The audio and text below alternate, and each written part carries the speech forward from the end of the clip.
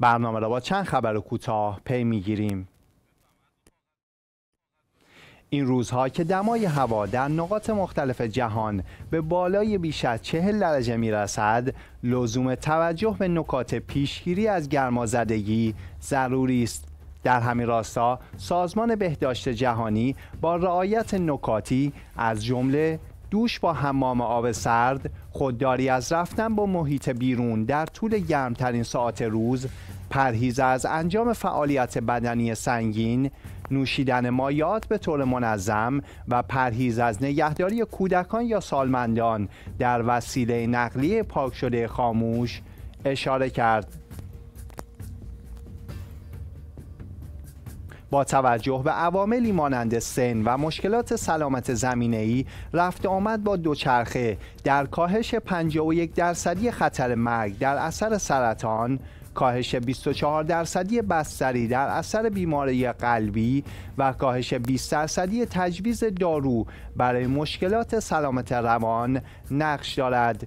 به گزارش نیویورک پست نتیجه پژوهش محققان بریتانیایی که در مجله بهداشت عمومی BMG منتشر شده است نشان می دهد که خطر مرگ زود هنگام دوچرخه سواران 47 درصد کمتر است و نسبت به کسانی که رانندگی می کنند یا با قطار رفت آمد می کنند ده درصد کمتر احتمال دارد در بیمارستان بستری شوند.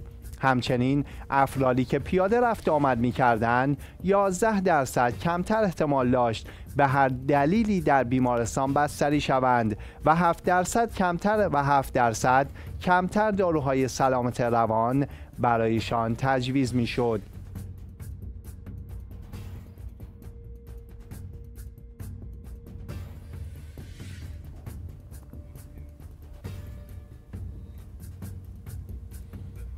زلزله‌ای به قدرت 4.9 دهم ریشته روز گذشته کابل و برخی دیگر از مناطق افغانستان را تکان داد.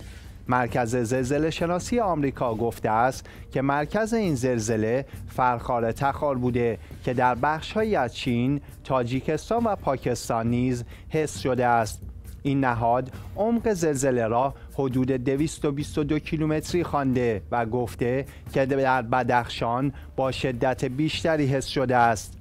برخی از مردم کابل می‌گویند که این زلزله در مقایسه با برخی از زلزله های دیگر اندکی بیشتر طول کشیده است.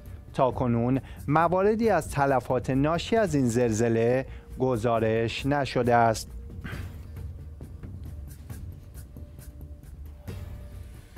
برخی از جوانان فعال در استان ننگرهار در شرق افغانستان که خواستار جمعآوری کمک به آسیب دیدگان طوفان اخیر در این استان بودند با ممانعت طالبان مواجه شدند.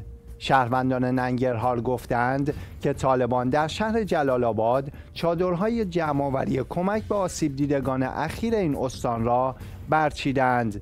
این گروه در حالی مانع جمعآوری کمک ها شدند که روز دوشنبه 25 تیر شهروندان برخی نقاط ننگرهار شاهد باران شدید و طوفان بودند. در پی این رویداد طبیعی دست کم 52 تن جان باختند و 350 تن دیگر زخمی شدند. این رویداد همچنان زیانهای هنگفت مالی برای ساکنان محلی در پی داشته است.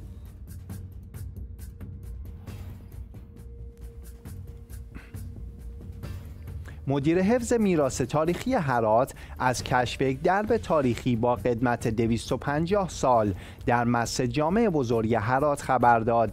محمد صدیق میر مدیر حفظ میراث تاریخی ریاست اطلاعات و فرهنگ هرات گفت این درب روز گذشته از انبار این مسجد کشف شده است وی با اشاره به اینکه درب در سمت غربی مسجد جامع بزرگ هرات نصب بوده است گفت این درب در نگارستان مسجد جامع این استان ثبت شده و با همین حالت قدیمی حفظ خواهد شد. همچنین رئیس اطلاعات و فرهنگ هرات نگهداری آثار تاریخی و فرهنگ این استان را یکی از اولویت های اصلی این اداره عنوان کرد. به گفته او هرات از استانهای باستانی کشور افغانستان است که با داشتن بیش از 800 اثر تاریخی از جایگاه ویژه‌ای برخوردار است.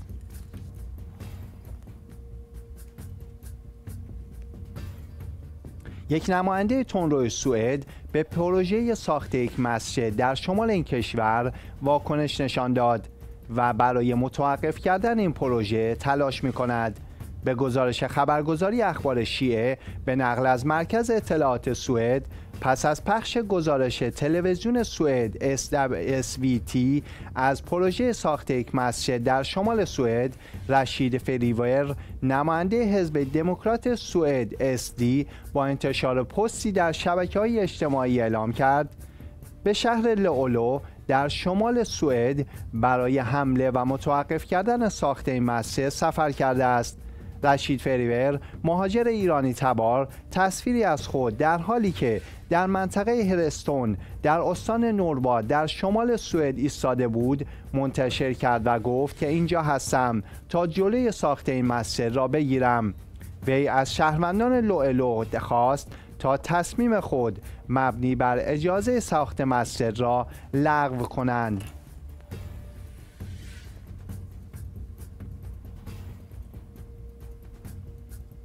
منابع محلی از تیراندازی نیروهای حزب الله به سمت دسته عزاداری غم زنان در حرم عقیله بنی هاشم حضرت زینب کبرا سلام الله علیها در منطقه سید زینب در دمشق پایتخت سوریه خبر دادند.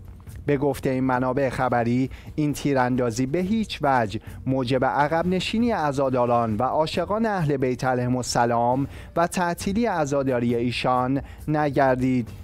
گفتنی است بر اثر این تیراندازی که در حضور نیروهای حراست و امنیت حرم متحر زینبی رخ داد تعدادی از عزاداران زخمی شدند.